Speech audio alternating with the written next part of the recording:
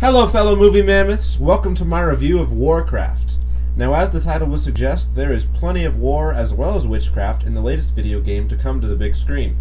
This one is based on the worldwide phenomenon from Blizzard Entertainment, World of Warcraft, one of the biggest online MMOs of all time. This movie promised a CG extravaganza akin to the rebooted Planet of the Apes franchise, in that it uses a large chunk of entirely CG characters and landscapes too.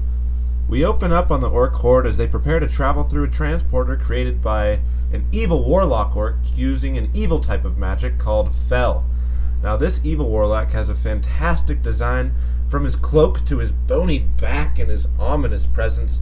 It all makes for a compelling and menacing villain right off the bat. Not to mention, his magic feeds off the lives of slaves. All of this sets up a truly evil character to be reckoned with. We're also introduced to our hero orc and his wife and newborn child. A newborn who is infected by the Fel upon birth and so will seemingly grow into a truly evil orc. There's a lot to this movie, and it's asked to introduce quite a bit, and so the first act is quite quick, and we're thrust all over the world, from Dwarven City to Human City to Mage's Library and whatnot.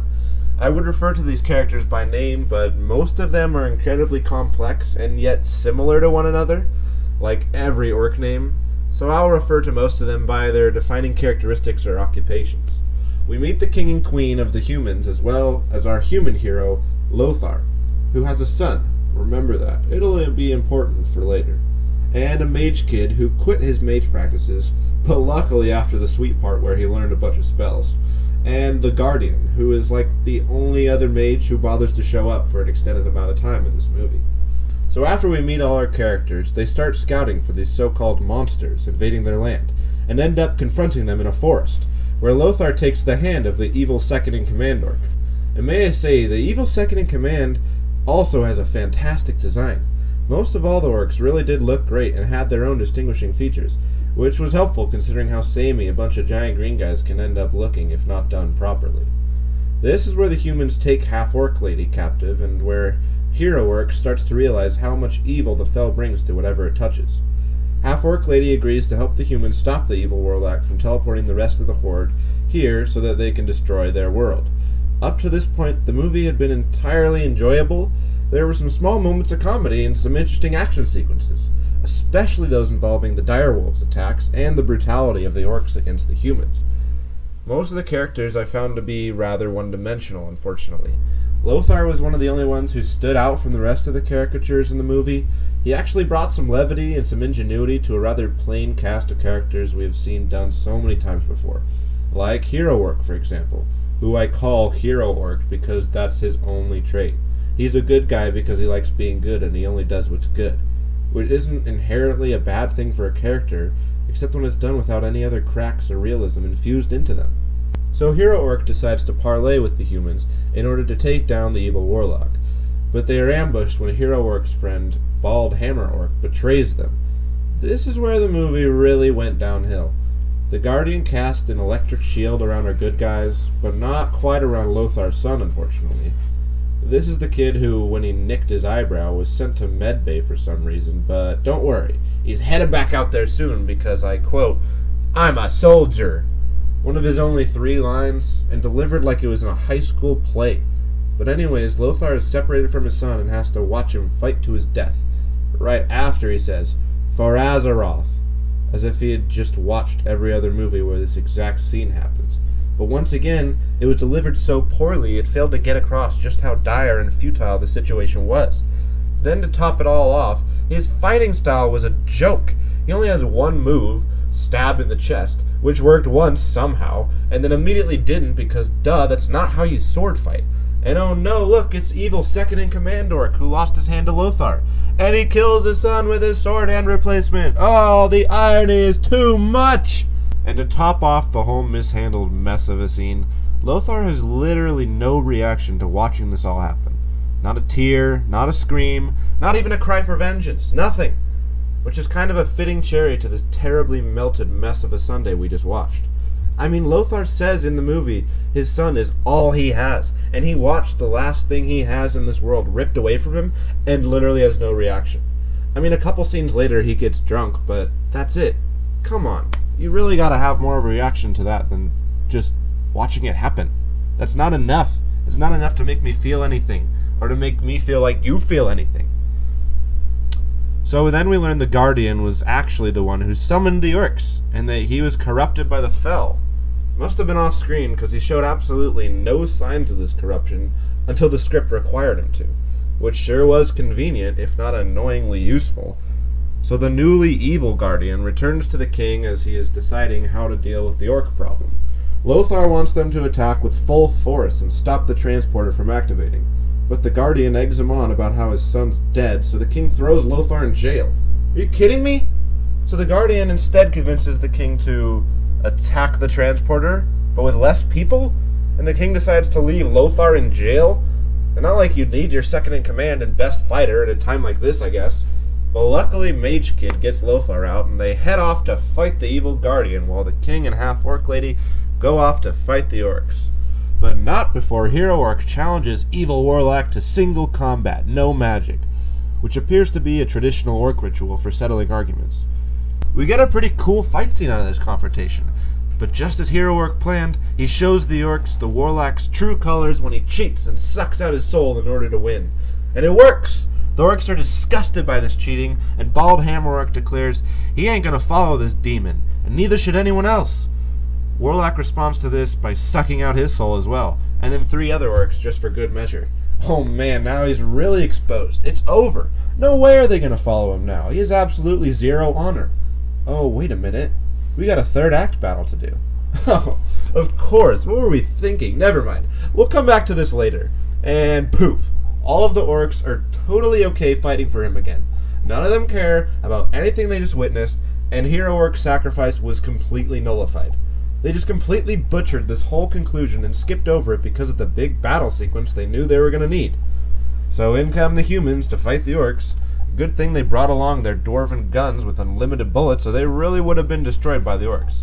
At the same time this is happening, the other battle is raging as well. The Guardian brings to life the golem that he had been working on earlier, and then they drop it on him in order to stop the transporter. And then Little Mage Kid is like the best at magic, and he can overpower the Fel that corrupted the most powerful mage in the world, but not him, because he's a good guy. Then the Guardian turns good again, I guess, because they still need to tie up some loose ends. He helps the humans teleport their captives back to their city, and then says sorry again before he dies. That's the biggest problem with this third act. The plot started to dictate characters' actions rather than the other way around and it was done in such a ridiculous and blatant way, it completely differed from everything we'd learned up to that point in the movie. So now the humans are losing the battle again, because plot says so, and the king tells Half-Orc Lady she has to kill him in order to make peace. What? What are you talking about, dude? But she does it anyway, and then she gets to crowd surf around before being accepted by the orcs. And then Lothar shows up on his griffin, but about ten minutes too late and 10 griffins too short. I mean, where are all the griffins? You seriously can't tell me Lothar has the last one ever? They need a whole cavalry of those dudes. This is one of the things that's representative of the problems with this movie. I would have loved to see more dwarven things, more of the elves, more more fantasy elements. I mean, we pretty much just got humans and orcs with a little bit of cameos from everybody else. It would have been great to have some of those other races represented in the party to get to know more of this world in the first movie. But of course, it'll probably just be in the sequel, just like everything else that was supposed to be in this movie. Whatever, though. But now Lothar has to single combat fight the orc that killed his son, a battle we've been building up to for the whole movie. And I thought for a second we might get something cool in all of this nonsense. But no! Lothar slices his dick off in one blow, and it's over, just like that. Ugh. Talk about a huge letdown, and come on. What could have been an awesome fight, fought tooth and nail with great emotional stakes, just ended immediately. Why did it end before it even got started? But now Warlock is pissed and he's telling everyone to kill Lothar.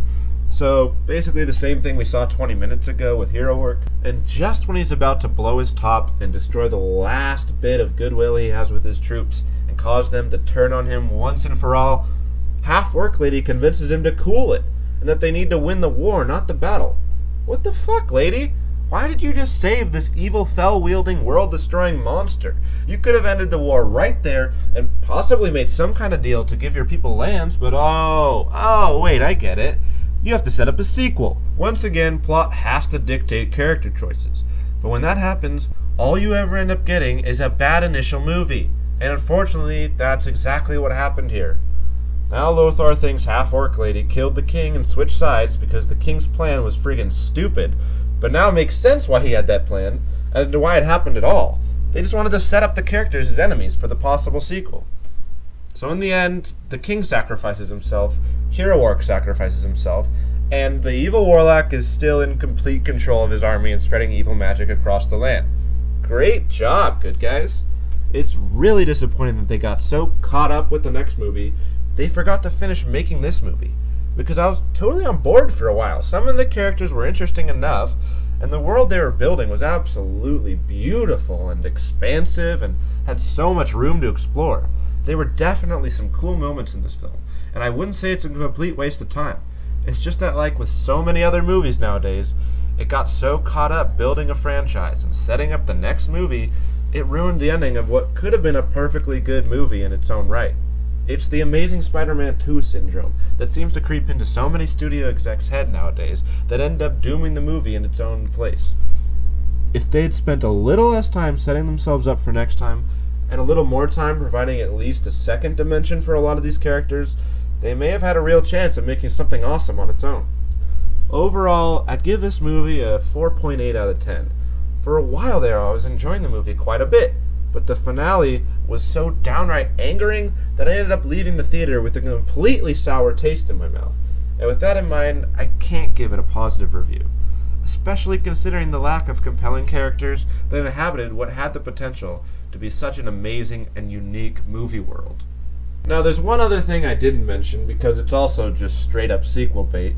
In the middle of this movie, Hero Orc's wife and unborn child run off from the encampment, and his wife leaves the baby to float down the river straight out of Moses, and then she ends up dying.